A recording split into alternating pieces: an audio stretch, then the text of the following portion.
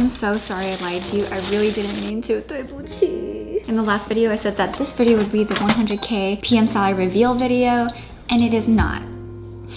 That video is ready, it's edited, but there is a holdup that is out of my hands and it has to go up in two weeks. Instead, here is another juicy video about money and I do reveal my salary at Google by the end of this video. Hopefully that makes things up for now. So this is what I spend in a week as a 30 year old. I know, yes, I lost my job, but I also have an emergency fund and I have lots of savings. I am also addicted to being a sugar sister.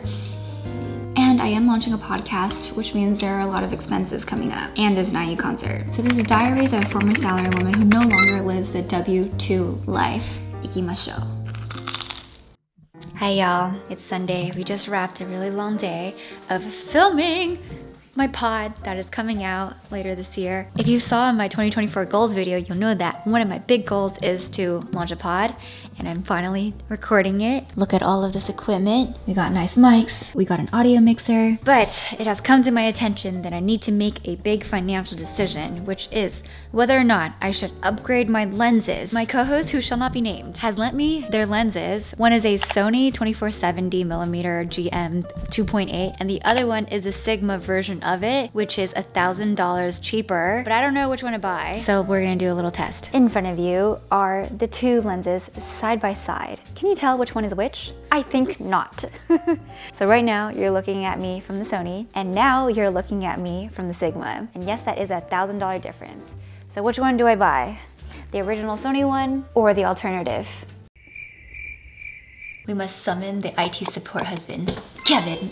That's me. I did a lot of research yeah. and basically the TLDR is Sony has slightly better autofocus and it's a little lighter, but it's a little bigger. The Sony is slightly better in every way, but it's a thousand dollars more.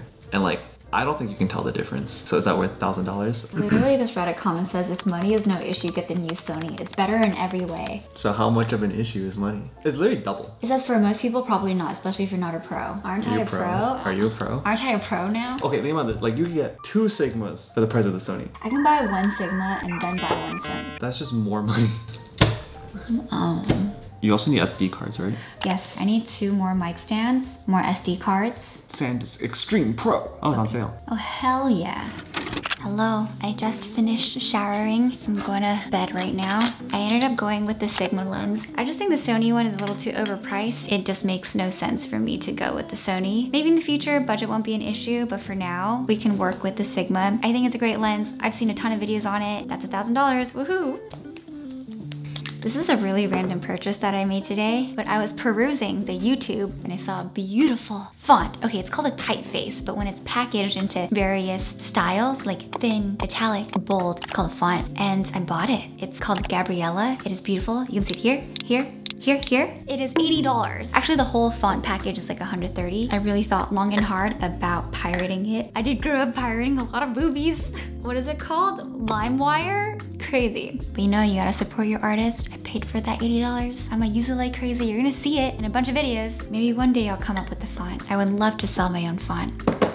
Time for bed, I'll see you tomorrow. I'm gonna be for real, I did not have time to vlog Monday through Wednesday, so I'm gonna talk through what I spent while opening up this bad boy that just came. This is actually the pivot cabinet from MoMA that I bought last year, but then it came damaged. So then I had to return it, buy a new one, but it was out of stock, so it took forever. It is very expensive. It is a $400 cabinet, but I love it. But yeah, Monday. Monday was a day that I finally pulled the trigger to buy a green screen for myself. I got it from Elgato for $142. Then for the first time ever, my brother asked me if I can buy him tickets to the Ado concert. She is a Japanese artist that is known for her music in One Piece, and she's coming to LA. But because it's happening so fast, we had to buy resale tickets. They were $539. On Tuesday, I went to a coffee shop called Time 3 in K-Town with my brother. So then I can teach him about content, filming, editing. Then we went to H Mart to go grocery shopping. Groceries were $91. We went home, I made hot pot for the both of us. And then it was time for IU tickets for Taipei because I'm gonna be in Taiwan next month. I would be in Taipei when IU is there. I went on their website, KKTix, to try to get tickets with all my brothers and Kevin. None of us could get tickets. So we spent a whopping zero dollars, but we gained depression. So that was Tuesday, and then Wednesday I just worked all day. Wednesday was busy. I was just editing in meetings, inboxing, and I did my financial projections. I think it's so important to properly do financial projections and budgeting from the beginning so that I can set my intentions for where every dollar is going to because I want to make sure my money is compounding over time. It's being spent in a way that makes sense for my life or my business, and I know how much money I get to spend guilt-free and how much money I need save and invest. And yeah, because we're not going to take any L's when spending this year. Mm -mm, we're way past that life. I will be sharing my budgeting sheets at the end of the video after we get through this week. But if financial health is one of your goals this year and you need like a finance bestie to get through everything with you, I'm not that person for you. The sponsor of today's video is CreditU. First of all, I am rarely impressed by finance apps, but CreditU has bedazzled me. They're launched by the American Consumer Credit Counseling. Super legit, the internet loves them, great rating. Recently, they've been cooking up the ultimate money management app, working with certified credit counselors and AI to change the way Americans live financially. Okay, enough big words, let me just show you. Open up the app, share your financial situation, connect your accounts, and select your goals. And boom, there's every step and every milestone you need to get there. As someone who just bought a house, I cannot believe I didn't have this last year, but they recently did launch, so I guess it's okay.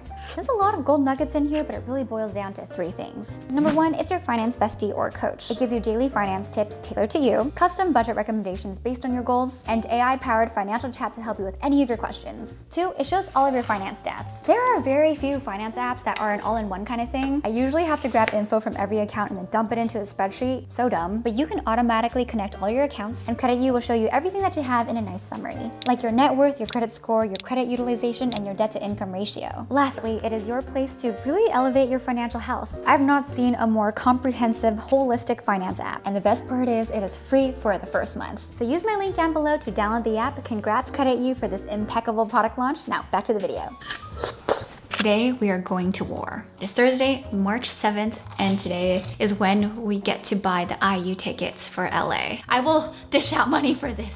This is an investment of a lifetime. Ticketmaster, you better work this time. We're on a Discord call with my brothers to get tickets. Also, I went to Coffee MCO this morning to get their Cohen latte. Okay, now for IU tickets. Ah, two accounts, three devices. Let's see if I'll be able to make it. I would pay $1,000 for VIP if I could, but she only has general public and official platinum. I don't know what the difference is. This is my first time buying tickets for a concert like this. Yeah.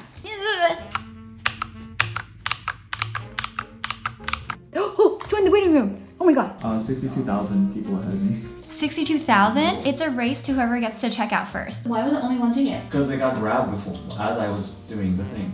Oh, things got opened. Caster, can you keep track of that? 3,181. What the hell? I'm just going for two. This is too hard. I'm going for two. yeah, Going go for two, go for two. Is that two? It's two. It's two. Okay. Okay, Only two. Then I'm next. Fucking gamer, dude. You're a capital G gamer. B. Where, where, where do I go? anywhere, yeah, yeah. Right here? Oh, oh. Yeah. Uh, please. It's gone. It's gone. Get It's the gone. two. Get it's the gone. two. These three. No, you took too long. I see what this is now. I see the Two, game. Go. Get off. Get off! You told me to get off. Th those two, yeah, yeah, yeah. This is what I'm saying. Oh, oh, oh, holy shit. It's like a whack-a-mole. Yeah, yeah, yeah. Oh my god, we have a chance, we have a chance. Got we got it, we got it. Place order. Preferred parking bless. Yeah, go. Okay, okay, please. Declined. Oh, what? The payment Did you provider? do, check your text? Okay, okay, I put yes. Did we get three tickets? Yeah, I got three. We got five. So what is the grand total? Yeah, we bought two tickets, right? That was that was you, Caster's Orange Jesus, and he got two tickets. That was for a total of fourteen hundred dollars. I got three tickets for a total of three thousand five hundred dollars. I think that was official platinum, but it's in the front front. So, ugh, I can't believe we got the tickets. Crazy. Hello, hello. It is dinner time. I want to talk to you about something a bit. Even though today's IU tickets were successfully acquired, Kevin and I got into a little spat. Not an argument, but we had an honest conversation because I spent a total of 9,100 something dollars. In my defense, I spent this much money to pay for my brother's tickets and my brother's girlfriend and a few extras just in case for other friends. But I did buy resale tickets and I'm kind of a concert noob here, so I just want my tickets. I personally think this is a once in a lifetime opportunity, but Kevin felt that it was really hefty. Is there anything you would like to say, Kevin? I agree with you. I think it's once in a lifetime because IU never world tours, and it's money we can't afford, thankfully. But thousand dollars a ticket is a lot. Yeah. Kevin's very stressed. Because you've been spending a lot of money. No, I haven't. Have I? You've been spoiling your brothers recently. I have a soft spot for my brothers, and I just want them to have a really nice life and live out their youth, unlike me. But Kevin has opinions because now this is not just my money, it is our money. Yeah, and I think like $9,000 is a bit misleading because we're gonna sell what we paid for to our friends Yeah. for like what, four of those tickets? But there's a chance no one buys it. Fuck. To be fair though, it was real hectic and we had to buy it real fast. Buying It tickets was suck. like like esports level clicking. But anyway, I mean, we're in our concert era. I guess we have IU, Yoasobi, and Lawrence. So it's all good. and I was like really sad I couldn't get IU tickets in Taipei. So I really wanted LA. we we're gonna go no matter We what. needed a win. Yeah. Yeah. I'm just gonna finish eating my makeshift udon noodles and call it a night. Good night. Happy International Women's Day. Anyways, it's 6 p.m. and I'm headed out to a dinner with Yuzu and they're hosting this thing for Asian women. Oh wow, LA drivers. People be crazy out here. By the way, I did not buy anything today yet because I just ate at home. I'm not playing anything right now, but on my way to the dinner, I am listening to the latest episode of The Yard, which is their episode for Women's History Month with Lily Pichu, and it is so freaking funny. Okay, go to the event. Hi, Michelle. This is really cute. But also, like, we really want to, our goal and mission is to empower Asian pride. Hey, hi Michelle. hi Chelsea. My God, International Women. Wow, thank you. Wow, me too. oh, so pretty. Like, I've been thinking about it for five years.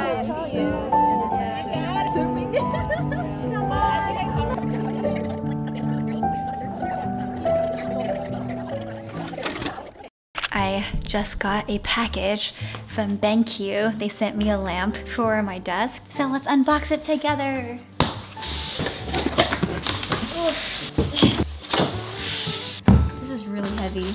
Think my desk is not bright enough, so I feel like I'm straining my eyes while working. Ta-da! Let's put it on my desk. I think it would have to go here. Whoa. I like it. Oh, this is really nice. So much brighter. If I had to buy this myself, it'd be $200. Thank you, BenQ. Now to work. Guess what came in the mail today?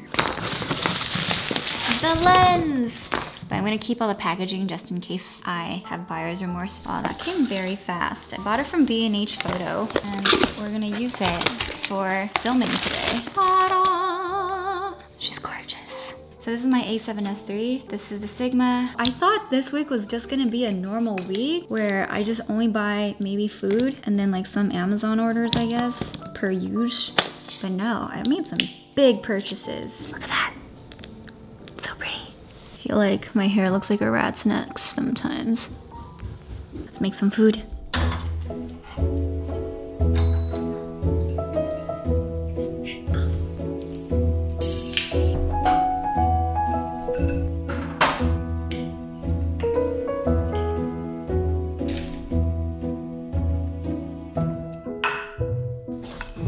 Kevin, my dear, dear husband, who's right in front of me, took my Toyota RAV4 to the auto shop because I think I had a flat tire. Did I have a flat tire? Not a flat tire, just low tire pressure, and it was up for maintenance, like for six months. So we found a very lovely auto shop. Yeah, and it was like $80 for oil change, tire, pressure air. And it took 20 minutes. That's crazy. Yeah, super fast. Whenever I took my car to the dealer, it would be like over $200 and the car would be there all day. Auto shop is the way to go. Mm, found a good one.